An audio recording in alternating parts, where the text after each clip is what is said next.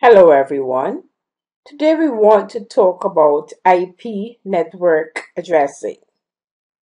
We have used addresses before as they relate to the address of a computer or a node in our previous sessions, but today we want to break the IP address down and look at it more closely.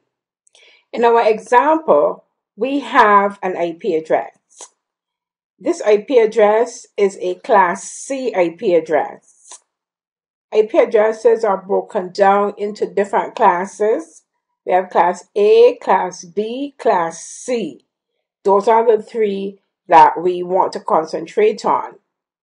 The IP address, as we saw when we were putting in the IP addresses for the network card, has a subnet mask. The subnet mask helps you identify the, the network that the IP address belongs to. Each type of network address has what we call a default subnet mask. A, B, and C, the three types of networks that we're going to look at, all have different default subnet masks. But let's first look at the structure of the IP address. The subnet mask has 255, which is a decimal number, and the equivalent binary for that is 1111111, eight ones. So 255 is the same as eight ones. So you have three sets of 255. And then the zero now represents the host part of the network. Just as you have a first name and a last name, the network has two parts. Let's say your name was Trevor Cummins. Cummins then would be equivalent to your network name. Cummins would be your family name. So in the IP address, the 192.168.10 would be the network address.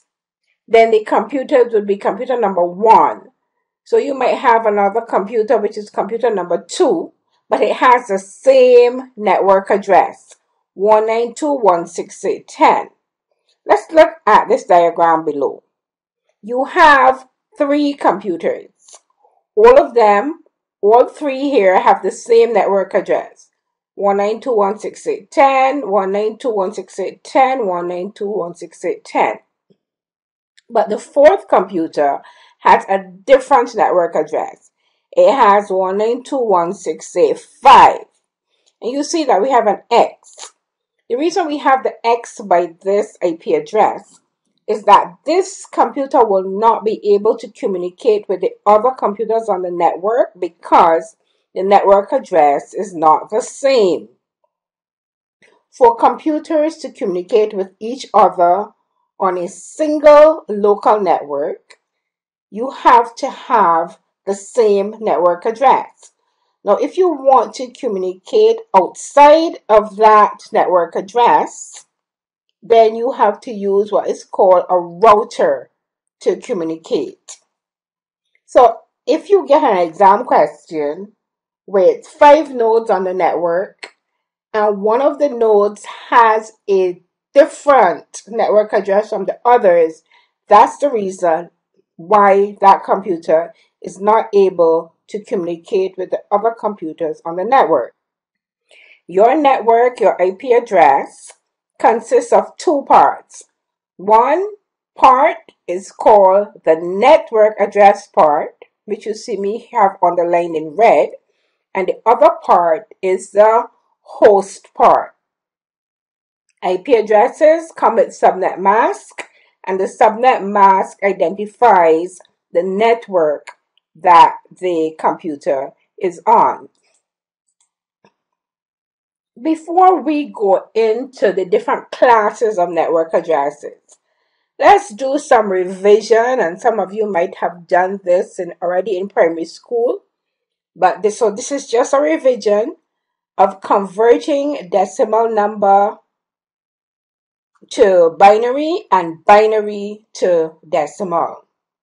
Now, there are many different ways that this can be done, but we pick this way because lots of students don't remember the binary conversion that they did in primary school. And I have found that this is the easiest method that people remember. But if you want to do the conversion using another method, you can. In exam, you're not going to be able to use the internet to get a conversion calculator. So you actually need to know how to convert or you can memorize the conversion table. So here we go.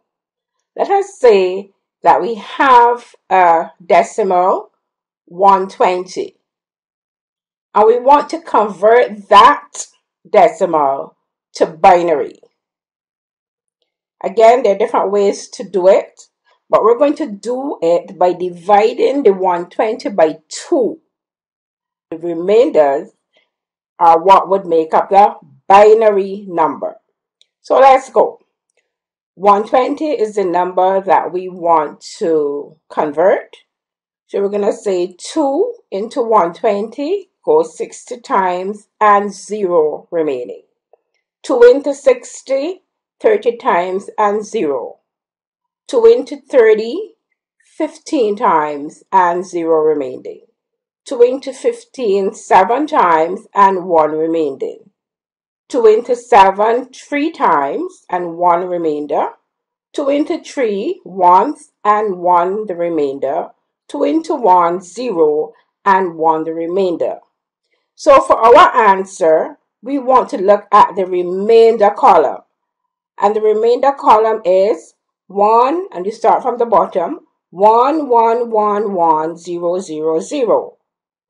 So the answer then is 1, 1, 1, 1, 0, 0, 0. So that's how we convert the decimal number into the binary number. Now let's check to see if we're right. And we want to do that by seeing if we can convert this binary back to decimal. So what we do is you can lay out the binary numbers here. And under the binary numbers, you want to double the digits. So you start here on the right hand side with 1. You double 1, you get 2. Double 2, 4. You double 4, you get 8. You double 8, you get 16. You double 32, and you get 64.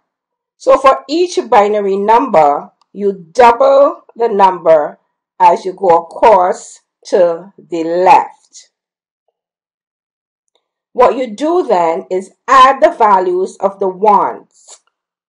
And the values of the ones would be 64 plus 32 plus 16 plus 8 which will give you 120. So you know that you were right. Again, it helps you to be able to convert binary to decimal and decimal to binary when you are doing your calculations for your IP address. So remember you add the values of the ones to get back the 120 to make sure that you were right. Again, we're converting decimal to binary and binary numbers are numbers that the computer understand and they're divided up into ones and zeros and you call them bits.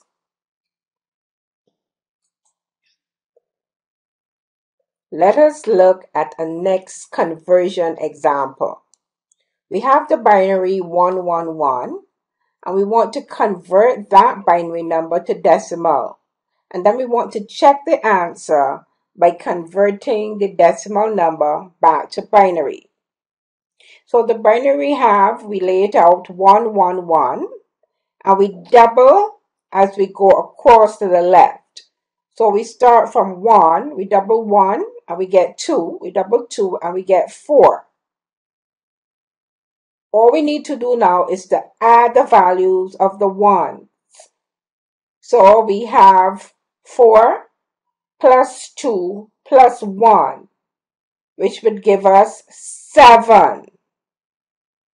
So therefore, the binary 111 will result in a decimal number of 7. Now let us convert the 7 back to decimal and see what we get. So we say 2 into 7 goes 3 times, remainder 1. 2 into 3, 1, remainder 1. 2 into 1, 0, remainder 1. And we get 1, 1, 1. So we were right. The answer is 1, 1, 1, which is what we had before in the first place. So that's just a method of converting binary to decimal and decimal to binary. We now want to look at the different classes of IP addresses. We have the class A address. The class A address has a default subnet mask of 255.0.0.0. This means that the first part of the address, the first octet, is the network part of the address. And the last three octets would be the host part of the address. Then we have the class B network, where the subnet mask is 255.255.0.0. The first two octets of the class B network make up the network address. The last two octets make up the host part of the address. Then we have the class C network where the first three octets, 255.255.255, make up the network part of the address. And the last octet, which is the zero, will make up the host part of the address. We also have the class D, which is the multicast address. And then we have the class E, which is experimental. But for our class, we're concentrating on class A, class B, and class C. We want to turn our attention to two additional classes, the class D address and the class E address. The class D address is usually used for multicast addresses and the octets range from 224 through 239. The class E addresses are an experimental class of addresses. We also have the default IP address for a default route, which is 0.0.0.0. And then we have what we call the loopback address, which is the address that points back to your own computer address. It is common to see 127.0.01 as the internal loopback address of a device. So if you wanted to ping your own IP address on your own computer, you can use 127.0.0.1 because this is what we call the loopback address. Again, which is the internal address of your computer system. This is the end of this section of IP addressing. And in our next, next session, we want to turn our attention to subnetting as it relates to the IP addressing. This is the end of our session. I want to thank you for listening. Let us take a closer look at Class A. Here's an example of a Class A address 120.10.6.1 with a notation of 8. 8 here signifies that there are 8 bits in the network part of the address. The first octet value of the Class A address can range from 1 through 126. The default subnet mask for the Class A address is 255.0.0.0 and below here we have the binary equivalent to that address. We have two examples of a class A address with the 8 for the notation again, meaning that the first part of the address, which is the network part, contains 8 bits. Each network in a class A network can hold 16,777,214. And that's a lot of hosts on a network. So again, remember that the default subnet mask for the class A network is 255.0.0 and the first part, the first octet in the class A address represents the network part of that address. Let's turn our attention to the class B address. The class B address, the first octet, ranges from 128 through 191 and the network part of that address contains 16 bits and we see here we have a notation of 16 so the slash 16 always means that those are the number of bits in the network part of the address. The subnet mask 255.255.0.0 and the binary equivalent to that 255.255.0.0. Two examples here of a class B address and we know it's a class B because it says slash 16 meaning that the first two octets again represent the network part of the address and the last two octets represent the host part of the address. Each network in a class B network can hold 65,534 hosts. Not as many as a class A, but still a whole lot of hosts. Next, we want to turn our attention to the Class C network. The Class C network has a notation of 24, meaning that there are 24 bits in the network part of this address and 8 bits for the host part. The octet values for the first octet range from 192 through to 223. The default subnet mask for the class C address is 255.255.255.0 and we see here the binary equivalent of that.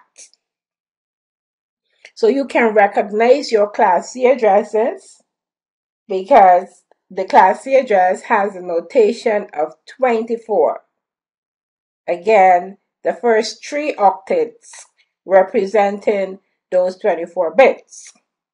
The Class C network can hold up to 254 hosts per network.